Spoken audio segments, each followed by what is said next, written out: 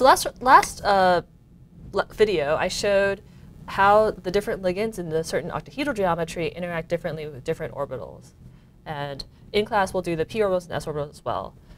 But here, let's, let's kind of do the MO diagram and see what ends up changing with our relative orbital energies. So suppose that we're doing ML6 again. And we want to know what that MO diagram looks like. So again, just like what you've done before with diatomic atoms, we can start uh, and kind of in interact our different uh, compounds. So typically, let's start with put the metal on the left. So here's my metal over here. So I'm going to put the atomic orbitals of my metal. So for a transition metal, uh, we have 3D, okay, let's say uh, our, th our third row, our first row of transition metals, so 3D elements. So the ordering of our orbitals is going to be, uh, so our 3D, so as we go up in energy, 3D will be the lowest, so we have, in the free atom, we have five degenerate d orbitals, dz squared, dx squared, blah, blah, blah. Um, and then the 4s turns out to be above it slightly, so then we have 4s. And then above here, we have 4p.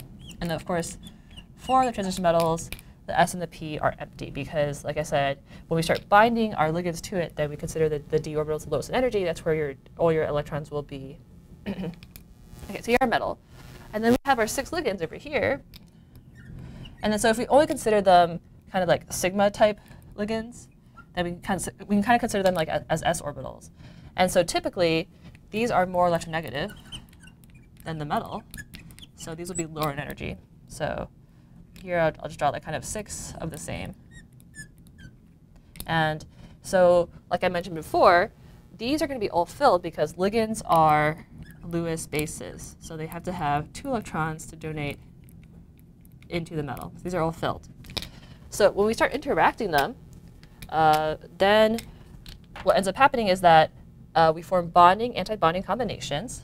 So we'll form our bonding orbitals. So don't worry about the bonding orbitals. The reason being, uh, so bonding, so we form some sigma bonds.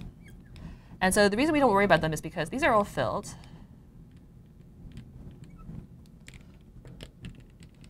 And they're all close in energy to the ligand, which is more electronegative. So these are kind of like ligand-centered electrons, basically. We'll think about it that way. Um, but then what's important is the d orbital splitting. So as we form these bonding combinations, we also form anti-bonding orbitals. So just like I showed in the last video, the only d orbitals that our ligand sphere can interact with are our dx squared minus y squared and our dz squared for the reasons that I drew.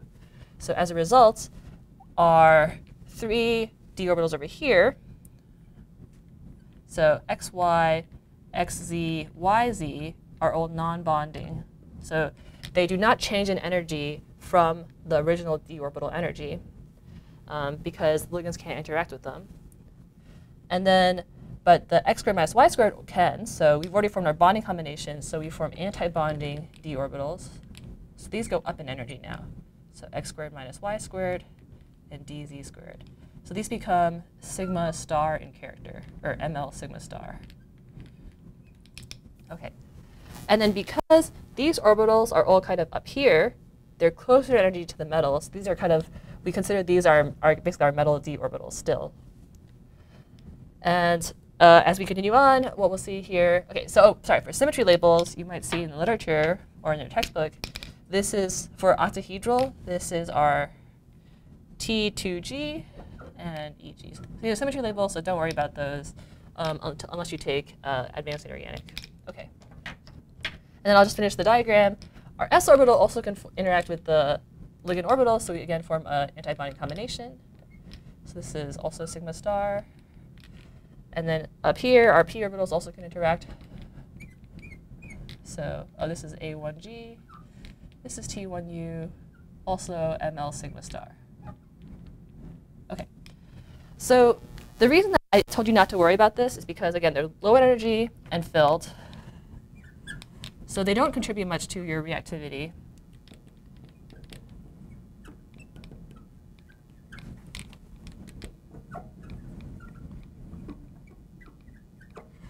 Okay. On the other hand, our d orbitals up here is what you need to know for this class.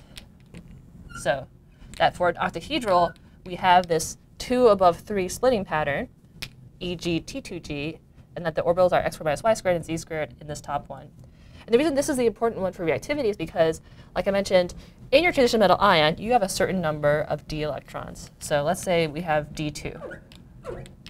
Because, because these bonding ligand-centered orbitals are already filled and low in energy because these ligand orbitals are all filled, these two, like these two d electrons are going to be up here in this d orbital splitting pattern.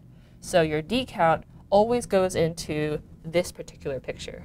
So as we fill in two electrons, our two electrons here would be exactly here. So these guys. That's why this up here is pretty much the only thing that matters when we're trying to determine the electronic structure of your uh, coordination complex. I'm simplifying things, but this is the general idea. Uh, so from this, we get spin, we get magnetism, we get our colors, we get reactivity. So uh, this is our general picture. Um, let's see, what else did I want to say about this? Oh, and uh, so this, how much this splits, let me do this in this color. This energy difference, sorry, I'm just to go over here. This energy difference is called delta O. So O is for octahedral. And so this energy difference, how much this is antibonding, is determined by the nature of your metal and also the nature of your ligands. I'll talk more about that in an upcoming lecture. So this is a splitting pattern for octahedral. Um, I'll show some other examples. This is so this is geometry dependent. So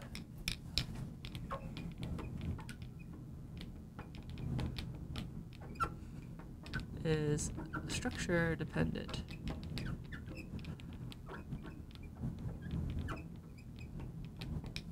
So for tetrahedral, if we have tetrahedral over here, we get a different d orbital splitting pattern. So again, we have our bonding, antibonding the same, but this manifold, our five d orbitals are split like so. Let me draw it in a different color. It's split like here. So this is now E, and this is T2. And then these are our x squared minus y squared, dz squared, xz, yz, xy. And then this splitting over here is now delta t. And then so usually delta t is smaller than delta O because of uh, the number of ligands and just the nature of the orbital interactions. Um, on the other hand, if we have square planar, then we can have an even different pattern. So we'll do some examples of how to uh, do these types of bonding patterns in class. Um, but these are the two kind of most common ones, this octahedral and tetrahedral. So you should uh, know what these patterns look like because it, it's really important for how things end up filling up uh, and the properties of your final complexes.